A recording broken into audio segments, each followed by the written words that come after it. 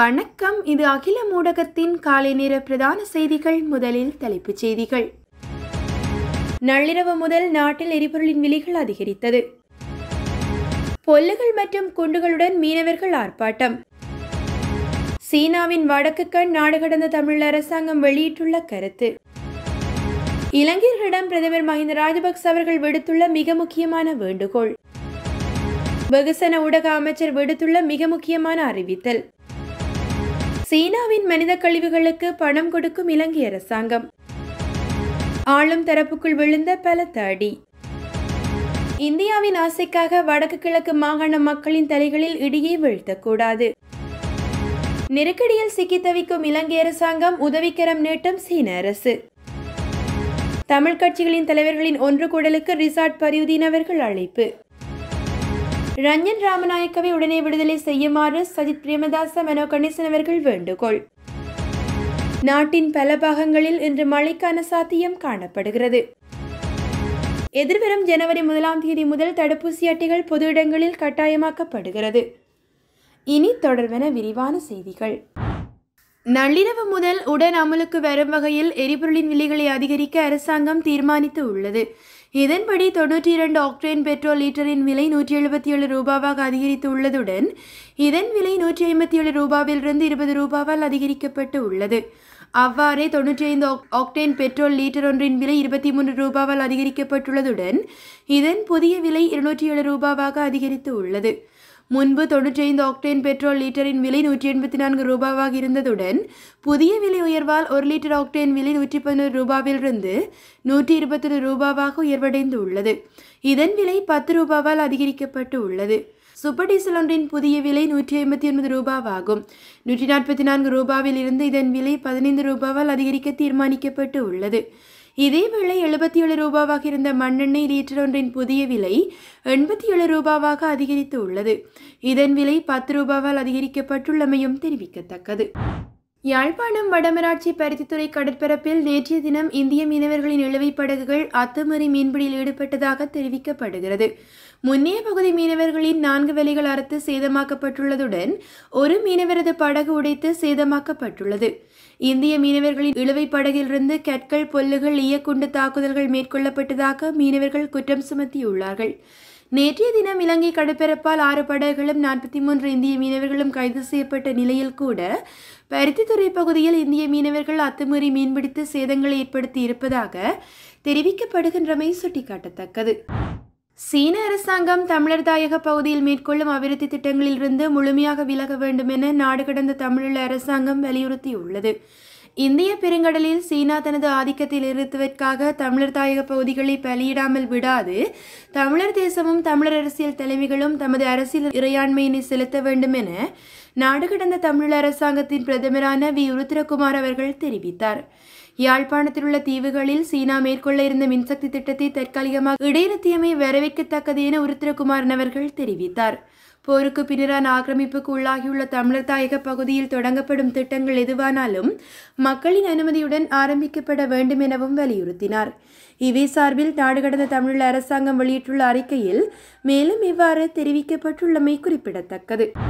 பௌத்த மதத்திற்கு முன்னுரிமை வழங்குவதற்கும் பாதுகாப்பதற்கும் நடவடிக்கை எடுக்கும் அரசாங்கம் நாட்டில் உள்ள இணைய மதங்களுக்கு அரசு அனுசரணை மற்றும் பாதுகாப்பை வழங்குவதற்கும் உறுதி பூண்டுள்ளதாக பிரதமர் மஹிந்த ராஜபக்ச அவர்கள் தெரிவித்தார்.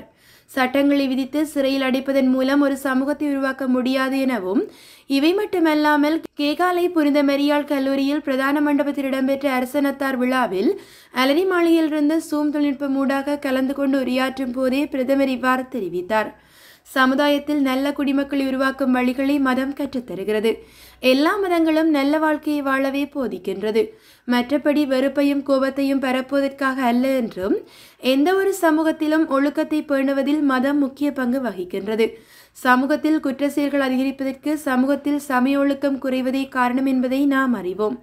சமுதாயத்தை சரியான பாதையில் இட்டு செல்ல மதத்தலைவர்களின் சரியான வழிகாட்டுதல்கள் இன்று நமக்கு தேவைப்படுகிறது. அடித்து பேசி ஒரு சமூகத்தை உருவாக்க முடியாது. சட்டங்களை விதித்து சிறையில் அடைப்பதன் மூலம் ஒரு சிறந்த சமூகம் நிச்சயமாக உருவாகாது என பிரதமர் மஹிந்த ராஜபக்ச அவர்கள் இதன்போது சுட்டிக்காட்டியிருந்தமை தெரிவிக்கத்தக்கது.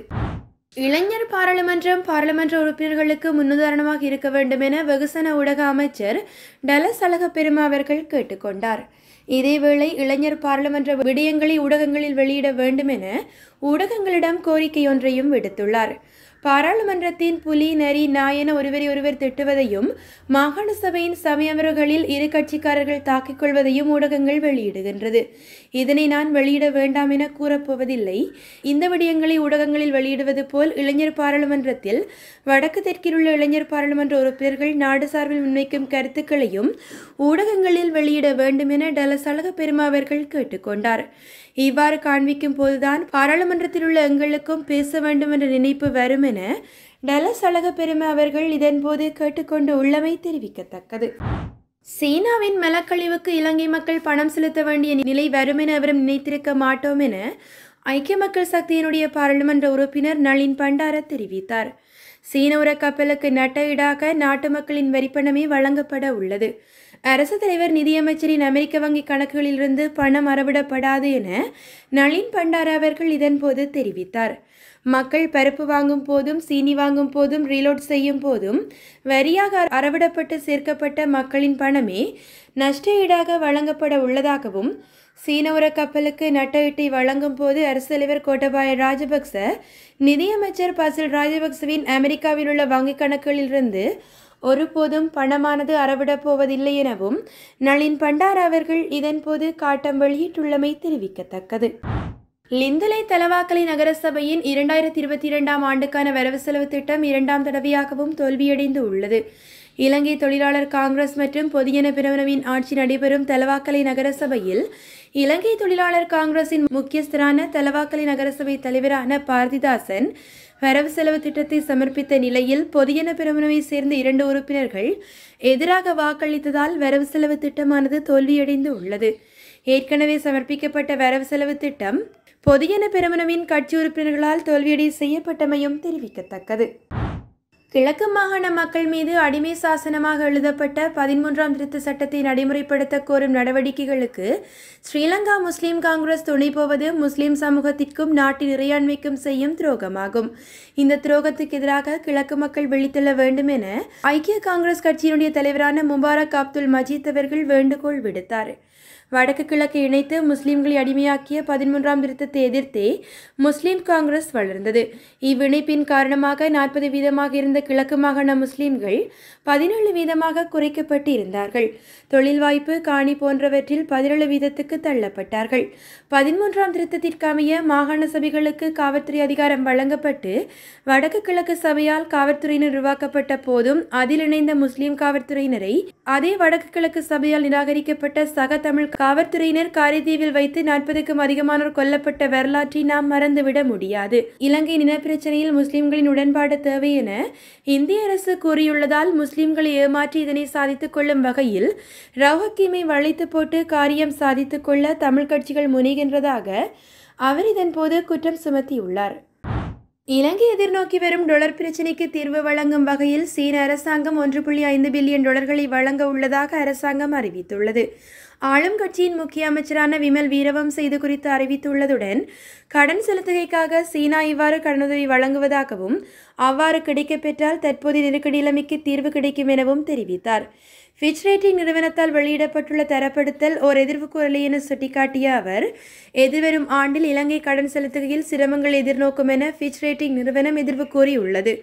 இதுவரையில் இலங்கை எந்தவொரு வெளிநாட்டு கடனையும் செலுத்தாமல் விட்டதில்லை எனவும் அமைச்சர் விமல் வீரவம்ச அவர்கள் இதன்போது செய்தி வெளியிட்டார். தமிழ் பேசும் தரப்புகளின் ஒற்றுமைப்பட்ட நிலைப்பாட்டிலான பொது ஆவணம் ஒன்றை தயாரித்து இந்திய பிரதமருக்கு அனுப்பும் நோக்கில் டெலோ அமைப்பால் இன்று செவ்வாய்க்கிழமை கொழும்பில் நடத்தப்பட இருக்கும் தமிழ் கட்சிகளின் தலைவர்களின் கூட்டத்துக்கு அகில இலங்கை மக்கள் காங்கிரஸ் தலைவரான ரிசார்ட் பதிவுதீன் எம்பிக்கு அழைப்பு விடுக்கப்பட்டது. கடந்த பன்னிரெண்டாம் தேதி கொழும்பிலும் அதற்கு முன்னர் யாழ்ப்பாணத்திலும் இவை சார்பாக நடத்தப்பட்ட கூட்டங்களில் முஸ்லீம் தரப்பில் ஸ்ரீலங்கா முஸ்லீம் காங்கிரஸ் தலைவரான ரவு ஹக்கீம் எம்பி மட்டுமே அழைக்கப்பட்டார். இப்போது ஆவணத்தை இறுதி செய்து ஒப்படைக்கவிருக்கும் நிலையில் கடைசி சந்தர்ப்பத்தில் ரிசாத் பதியுதீன் அவர்களும் கூட்டத்துக்கு அழைக்கப்பட்டு இருந்தமை தெரிவிக்கத்தக்கது. முன்னாள் பாராளுமன்ற உறுப்பினர் ரஞ்சன் ராமநாயக்கவுக்கு பொது மன்னிப்பை வழங்கி அவரை உடனடியாக விடுதலை செய்யுமாறு ஜனாதிபதி கோட்டபாய ராஜபக்சவிடம் தமிழ் முற்போக்கு கூட்டணியின் தலைவரான மனோ கணேசன் எம்பி கோரிக்கை விடுத்தார். வெலிக்கடை சிறைச்சாலையில் நேற்று ரஞ்சனை சந்தித்து சுயநலம் விசாரித்த பின்னர் ஊடகங்களுக்கு கருத்து வெளியிடும் போதே அவர் இவ்வாறு கோரிக்கை விடுத்தார். ரஞ்சன் ராமநாயக்கவை சந்திப்பதற்கு எதிர்க்கட்சித் தலைவரும் நானும் இங்கு வந்தோம். எதிர்க்கட்சித் தலைவர் சஜித் பிரேமதாச கூறியது போல் ரஞ்சன் ராமநாயக்க சிறையில் இருக்க வேண்டிய நபர் இல்லை. எனவே மனிதநேயத்தின் அடிப்படையில் அவருக்கு முழுமையான பொது மன்னிப்பை வழங்குமாறு கேட்டுக்கொள்கின்றேன் என்றும் கொலை செய்துவிட்டோ கொள்ளையடித்துவிட்டோ குற்றங்கள் புரிந்துவிட்டோ அவர் சிறைக்கு செல்லவில்லை. மக்களின் உரிமைகளுக்காக துணிந்து கதைக்கக்கூடிய அவர் அவ்வாறு கதைக்கும் போது சொற்பிரயோகங்களில் பிள்ளைகள் ஏற்படலாம். அவ்வாறானதொரு விடயத்துக்காகவே சிறை தண்டனையை அவர் அனுபவிக்கின்றார் என மெனோ கணேசன் எம்பி அவர்கள் தெரிவித்துள்ளமை சுட்டிக்காட்டத்தக்கது. நாட்டின் பல பகுதிகளிலும் இன்று மழை அல்லது இடியுடன் கூடிய மழை பெய்யக்கூடும் என வளிமண்டலவியல் திணைக்களம் தெரிவித்தது. இதன்படி மேல் சப்ரகுவா மற்றும் மத்திய மாகாணங்களின் சில பாகங்களிலும் காலி மற்றும் மாத்தறை மாவட்டங்களின் சில பாகங்களிலும் மழை அல்லது இடியுடன் கூடிய மழை பெய்யக்கூடும். அத்துடன் ரத்னபுரி களுத்துறை மற்றும் நுரலியா மாவட்டங்களின் சில இடங்களில் மாலையில் அல்லது இரவில் மழையோ அல்லது இடியுடன் கூடிய மழையோ பெய்யக்கூடிய சாத்தியமானது காணப்படுகின்றமை தெரிவிக்கத்தக்கது. இரண்டாயிரத்தி இருபத்தி இரண்டு ஜனவரி முதல் பொது இடங்களுக்கு செல்வோர் கோவிட் தடுப்பூசி அட்டைகளை கட்டாயம் கொண்டு செல்ல வேண்டும் என அறிவிக்கப்பட்டுள்ளது. சுகாதார அமைச்சர் ஹேலியர் ராமுக்வெல்லா அவர்கள் தன்னுடைய ட்விட்டர் பதிவிலேயே இவ்வாறு செய்தி வெளியிட்டார்.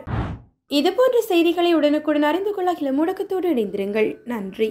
அகிலம் மாற்றத்திற்கான மக்கள் குரல். இந்த வீடியோ பிடிச்சிருந்தா லைக் பண்ணுங்க கமெண்ட் பண்ணுங்க ஷேர் பண்ணுங்க. மறக்காம கீழே இருக்க பெல் ஐக்கானை கிளிக் பண்ணுங்க.